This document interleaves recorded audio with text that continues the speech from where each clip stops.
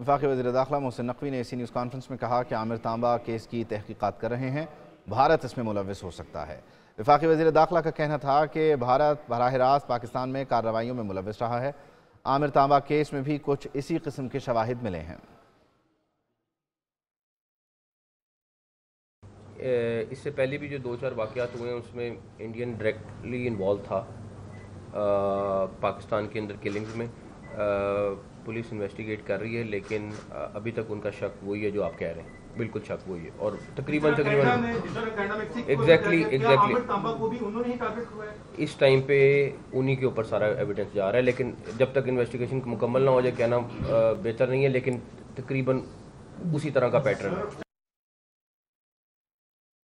वफाक वजी दाखिला मोहसिन नकवी ने इसी न्यूज़ कॉन्फ्रेंस में कहा कि आमिर तांबा केस की तहकीक़ात कर रहे हैं। भारत इसमें मुलविस हो सकता है। वफाकी वजी दाखिला का कहना था कि भारत बरह रास्त पाकिस्तान में कार्रवाइयों में मुलविस रहा है। आमिर तांबा केस में भी कुछ इसी किस्म के शवाहिद मिले हैं।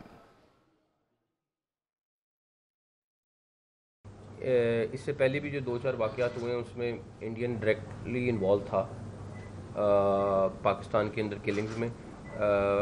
पुलिस इन्वेस्टिगेट कर रही है लेकिन अभी तक उनका शक वही है जो आप कह रहे हैं। बिल्कुल शक वही है। और तकरीबन तकरीबन एग्जैक्टली एग्जैक्टली इस टाइम पे उन्हीं के ऊपर सारा एविडेंस जा रहा है लेकिन जब तक इन्वेस्टिगेशन मुकम्मल ना हो जाए कहना बेहतर नहीं है लेकिन तकरीबन उसी तरह का पैटर्न है।